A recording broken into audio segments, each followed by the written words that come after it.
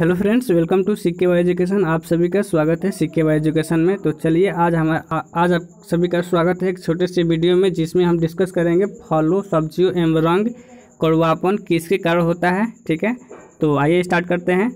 आपका पहला क्वेश्चन है, आंवले में कैसलापन जो होता है, किसके कारण होता है? तो टाइनिन के कारण होता है।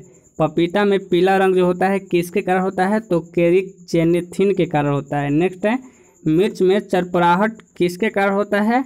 तो केस्पेसिन के कारण होता है। खीरे में कड़वाहट किसके कारण होता है? तो कुकर बिटेसिन के कारण होता है। नेक्स्ट है आपका।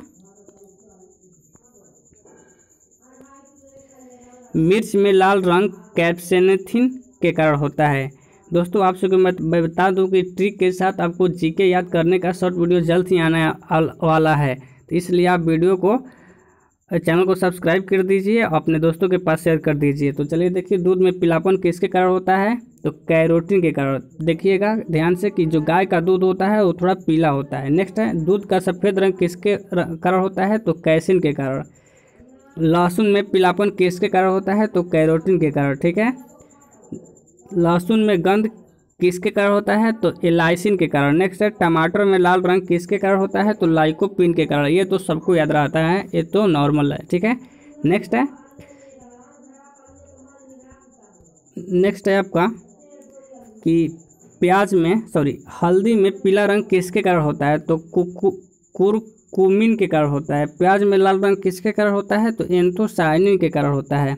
नेक्स्ट है, गाजर में नारंगी रंग किसके कारण होता है? तो कैरोटीन के कारण होता है। पीपल में कड़वाहट किसके कारण होता है? तो मार्फोलोप्सिन के कारण होता है। केरल में कड़ू करेले में कड़वाहट जो होता है, किसके कारण होता है? तो मेमो मेमिडिकोसाइड के कारण होता है। और खीरे में जो कड़वाहट होता है, किसके कारण होता है? तो कुकुर वेटिसिन के कारण होता है। तो आप बताइए, आप इसमें से कितना क्वेश्चन सही कर पाए हैं?